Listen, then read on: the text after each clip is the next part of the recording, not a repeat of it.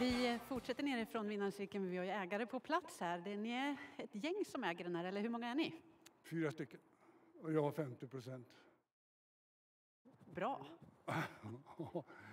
Det är Christian och jag och sen är det två andra som har lika stora andelar. Och det har börjat väldigt bra i de här två starterna. Det var nära en seger senast också. Ja. Hon var tvungen att göra sina behov på sista, sista biten. Och det är inte så lätt att springa samtidigt. Det går ju inte något bra. Så hon stannade. Idag gick det hela vägen. Ja, hon var duktig tycker jag. Vad har Christian sagt om den här hästen till dig? Ja, han har sagt att hon är ganska hyfsad häst. Lugn och fin.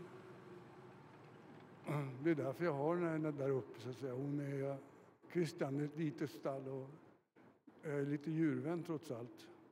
Och jag tycker då att en litet stall, där kan man ju få för hästen ett, bra leverne. Jag inbillar mig det i alla fall. Det låter fint. Stort grattis och lycka till framöver. Tack så.